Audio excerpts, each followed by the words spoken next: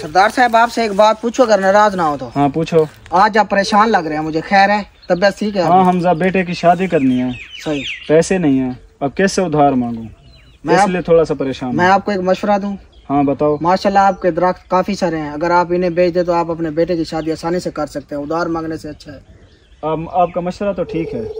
चलो आप किसी पठान को जानते हैं? जी मैं एक दो को जानता हूँ उनसे रब्ता रखता हूँ फिर आपकी बात करवाता हूँ उनसे। चलो आप उसे बुला लें। ठीक हो गया। हमजा इधर आना। आया सरदार। जी सरदार। पठान को कॉल की थी? कितनी देर हो गया उसका इंतज़ार कर रहे हैं हम? उसने आधे घंटे का कहा था मैं अभी कॉल करके पता रखता हूँ। हाँ पता करो। जी सरदार मैंने अभी कॉल करता हूँ। ठीक हो गया खान जल्दी करना थोड़ा सरदार गुस्से हो रहा था। ठीक हो गया उसका। सरदार साहब वो कह रहे हैं कि आधे घंटे तक घर से निकलता है। आ जाता है। चलो चलते हैं देरे पे। चलो जब आ जाएगा फिर आ जाएँगे।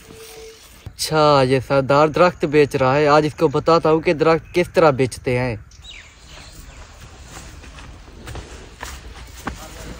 हमजा इस तरह करना। आधे घंटे बाद तूने वापस आके चेक करना है कि पठान आया कि नहीं आया और रेट फिक्स करके बता देना मुझे। ठीक होगा सरदार। हाँ ठीक है।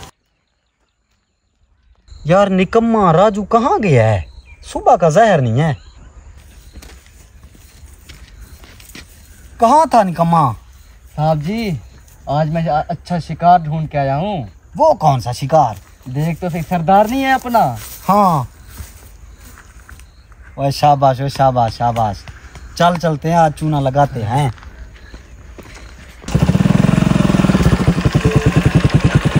वो माड़ा वो ये दरख्त तो बड़े अच्छे हैं। तेरा इसको देखते हैं लगता रहे हटा अच्छा मिलने वाले।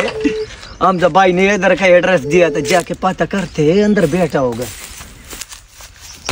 वो माड़ा ये किधर यार ये रास्ते पे पुल नहीं बना है वो देख वो किसी ने देखा तो सही सही ये इतना तो चलता रहते हैं चलो चलो हमजा भाई से जाके मिलते हैं वो हमजा तुम्हारा बजाऊ चमचे वो तुम किधर है वो दो बंदे नज़र आ रहे इधर बैठा हुआ होगा पता करते हैं पूछते हैं इनसे वालेकुम वालेकुम सलाम यार तुम खान लोग हैं लेने वाला। हाँ मड़ा मैं दरख्त लेने वाले यार ये हमजा भाई ने मेरे को कॉल किए थे हाँ मैंने मैंने हमारा हमजा भाई का मुंशी है? अच्छा तुम हमजा भाई का हाँ। मुंशी हाँ फिर ये दरख्त तुम दिखाएगे मेरे को? हाँ दिखाएगा चेक करो ना दरख्त। हाँ चेक करते हैं। देखो ना दरख्त तो काफ़ी अच्छे है माशा अच्छा इसका रेट क्या फिक्स किया है तुम लोगों ने?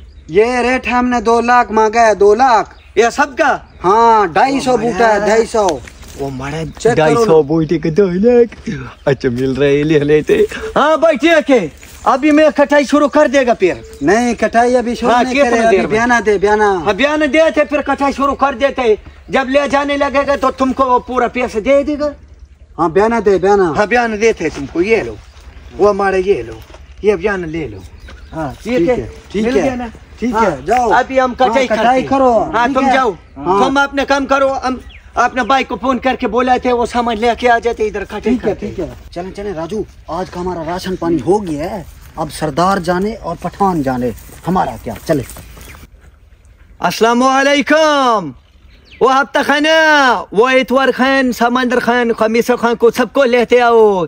वो इधर मड़ा हमदा भाई से दो लाख में ढाई सौ उठा लिया है ढाई सौ दरख्त।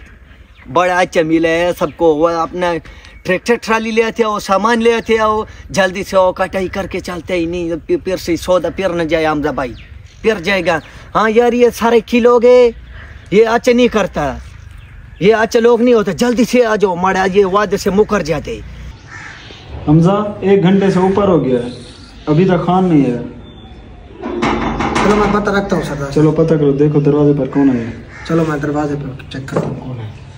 आ जाओ बैठे आप बैठे अंदर सरदार साहब के साथ बैठे। आप बैठे इधर। आप इधर बैठे। सुना सरदार साहब क्या ठीक हाल चाल? अल्हम्दुलिल्लाह अल्लाह का शुक्र है। वो आपने अपने दरख्त बेच दिए हैं? नहीं हमारा सौदा अभी तक नहीं बना। खान अभी तक नहीं आया। सरदार साहब मुझे लगता है कि आपका ये मुंशी आपको धोखा दे रहा है। नहीं ऐसा नहीं करेगा। नहीं मैंने मैंने अभी देखा है कि जो वो पठान थे ना वो सारे दरख्त लाद कर ट्राली में लेकर जा रहे थे। क्या आपने देखा है वो जुमा खान था? नहीं, हमारा याद- जुमा खान देखने आ रहा था। नहीं मुझे याद नहीं आ रहा लेकिन मुझे ये याद है कि वो कुछ नाम कह रहे थे वो जुमा खान था इतवार खान सुमंदर खान। हमजा ये क्या कह रहा है? चौधरी साहब मुझे लगता है सही कह रहा है। मैं क्या कर सकता हूँ? मुझे लगता है आपका बेटा ही पनौती था अब तो हो गई शादी।